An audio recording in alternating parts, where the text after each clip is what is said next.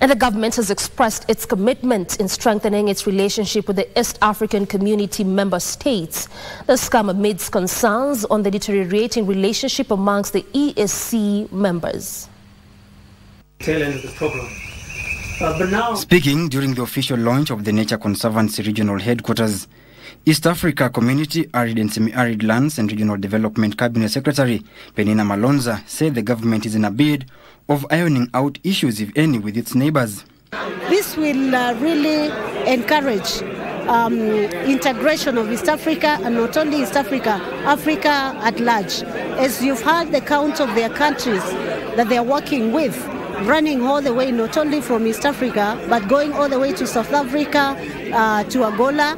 Uh, this puts Kenya in a very strategic position in terms of bringing Africa to Kenya. She at the same time pronounced the government's position in addressing the plight of indigenous communities who have been neglected over time. The government is committed to ensure land rights to indigenous communities and community based natural resources management aligns seamlessly with our national priorities. Her sentiments were echoed by conservationists who underscored the need for protection of the ecosystem. There are many more.